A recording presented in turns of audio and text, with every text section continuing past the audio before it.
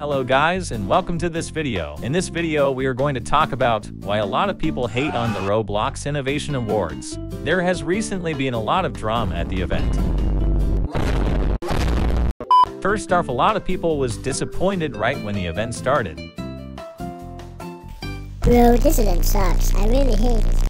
But I mostly think that was because when the event started, we couldn't get any free items, and we also had to wait for another countdown.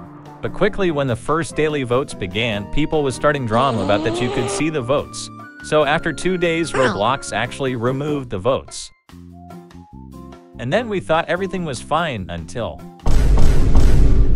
People were calling out games for buying their votes. I swear to God, no, no! Now you're probably thinking, how the hell do they buy their votes? Well, because that some of the games said that they will make some big updates if they win the Roblox Innovation Awards.